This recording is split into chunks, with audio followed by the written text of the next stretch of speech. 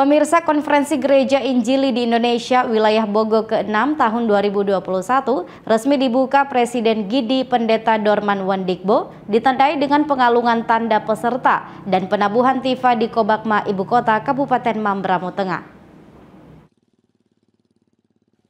Konferensi Gidi wilayah Bogo yang meliputi Kabupaten Mambramo Tengah, Jaya Wijaya, dan Tolikara diikuti 14 klasis yang berlangsung selama seminggu, mulai dari tanggal 1 hingga 6 September 2021 dengan membahas sejumlah visi misi gereja dalam pelayanan penginjilan ke depan.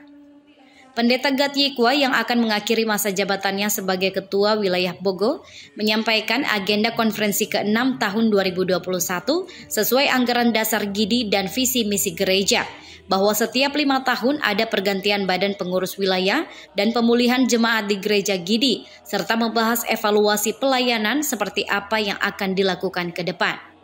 Selain itu, menurut GAT, siapa yang akan terpilih menjadi ketua wilayah harus mampu bekerja sama dengan pemerintah dalam memajukan pelayanan penginjilan di wilayah Bogo.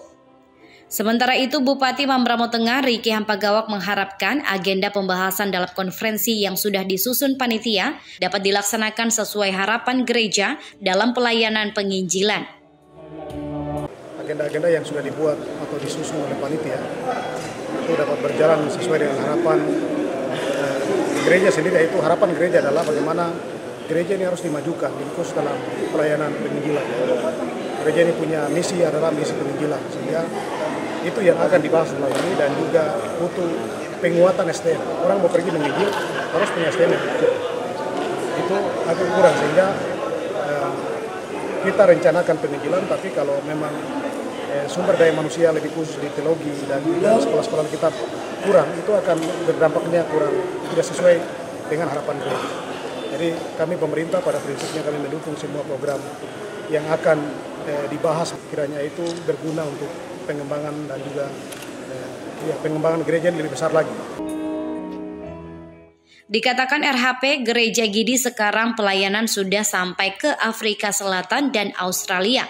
Sehingga ke depan anak-anak muda Gidi yang telah lulus sekolah teologi harus banyak keluar. Di mana dengan banyak keluar mereka bisa dapat banyak pengetahuan dalam bidang teologi untuk kembali menjadi pemimpin masa depan gereja yang handal untuk kemajuan gereja sendiri dan orang Papua.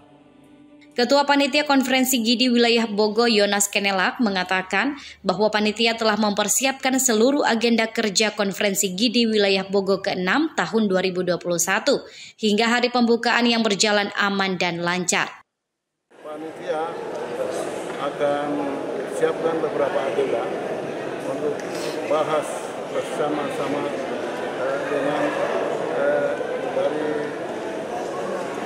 eh, PPS Sinode dan pengurus wilayah Bogor bersama 14 klasis dan semua peserta yang hadir kurang lebih 420 peserta yang hadir pada hari ini. Untuk diketahui dalam Kongres Gidi wilayah Bogo yang berlangsung dari tanggal 31 Agustus hingga 6 September 2021, peserta Kongres telah memilih Pendeta Potias Pagawak sebagai Ketua Wilayah Bogo. Freddy Nuboba, Ainis Jayapura melaporkan.